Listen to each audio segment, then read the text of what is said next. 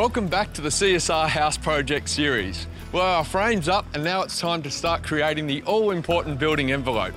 The exterior walls are the largest area of your house exposed to the elements, so thinking about what you use for cladding is really important for thermal efficiency.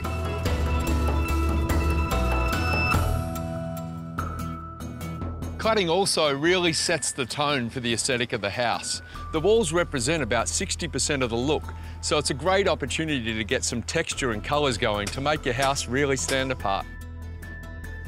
There's a variety of cladding materials on the market and we're going to be using a combination of them in the CSR house.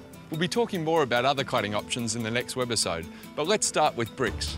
If you're building with bricks, they're one of the biggest choices you're going to have to make. How do you choose the colour, texture and size? Well, surprise, surprise, we've got a few tips. So bricks have been around for a really long time. I think the first ones date back as far as 7500 BC, and for good reason. As a building material, they are hard to beat for enduring appeal and affordability. Bricks are made from natural materials such as clays and shales and minerals such as magnesium. And they're fired at temperatures of 1200 degrees Celsius to lock in that beautiful colour and to give them strength.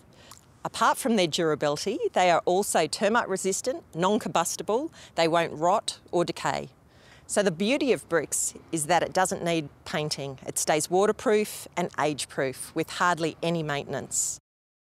The reason we chose bricks for this, this display house was because uh, in the market marketplace there is a demand for bricks and people traditionally enjoy having bricks, bricks as, as their outside skin of their building.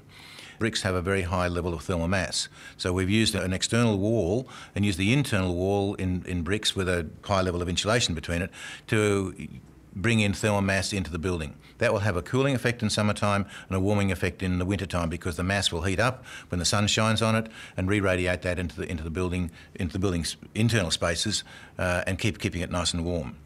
Where we've used bricks, bricks on an external wall, it's simply because uh, it's, it's a, a fashion, fashion issue and we need to consider that most people are going to choose the bricks for a variety of reasons. One of the benefits of using brick, of course, is that you don't have to do any maintenance on it for 50 or 100 years. But we have to be cognizant of the fact that that, that wall or that building system has to take into place that the level of insulation that we put in the walls uh, mit mit mitigates the, the brickwork we're using on the outside. So we have to use a brick veneer situation, fully insulated, would give us high levels of thermal, uh, thermal barrier. To get that great mix of texture and colour, we're using two types of brick. A metallic look brick around the study in the rear of the house. The metallic finish on this brick actually reflects the light to create a real visual interest. And here around the garage, we're using a sandstock brick in a split format. A split's a narrower brick that's 50 mil rather than the traditional 76 mil. Added to this, we're using an unconventional bond pattern called stack bond. This element will add a modern twist to a timeless classic. There's no doubt that the right choice and clever placement of bricks is going to look great. But how good are bricks for thermal performance? Bricks are a great uh, building material from the point of view of passive solar design of buildings. They provide the thermal mass which is uh, necessary in terms of managing the temperatures inside, which uh, in turn has a significant impact on saving uh, your energy uh, costs for heating and cooling of buildings. Bricks also provide uh, acoustic insulation. In other words, they keep the noise out, uh, and uh, in particularly in areas where there are noisy surroundings, it's it's of great value there. On a life cycle basis, however, it is one of the best materials because it has the capacity to be reused and recycled over subsequent years, and as a result, provide a good life cycle impact value as a building construction material.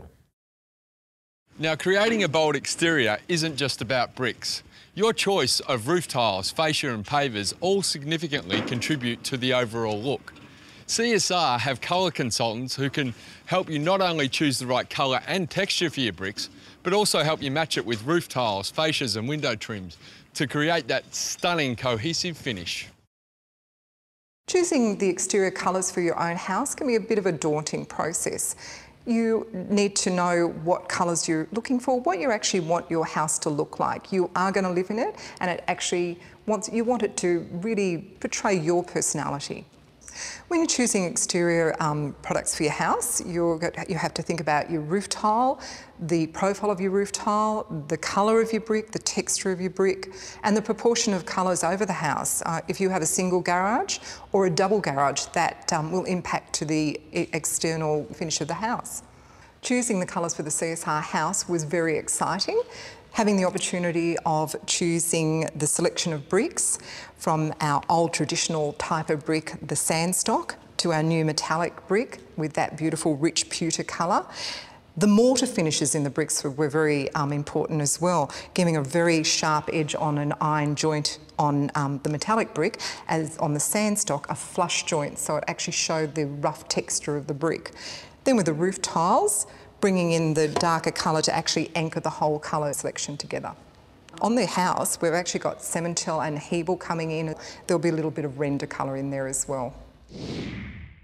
Bricks not only look good, but with their low upfront cost and long life, they're still one of the most affordable cladding materials too. Now, bricks are just part of our cladding combination. We'll have more about other cladding materials later. But in the meantime, you can find out more about how fabulous our bricks are on pghbricks.com.au or drop into one of our display centres for a consultation. We'll be back soon with more progress on our CSR house. You can catch up on all the latest house and product news on csr.com.au or on YouTube. See you next time.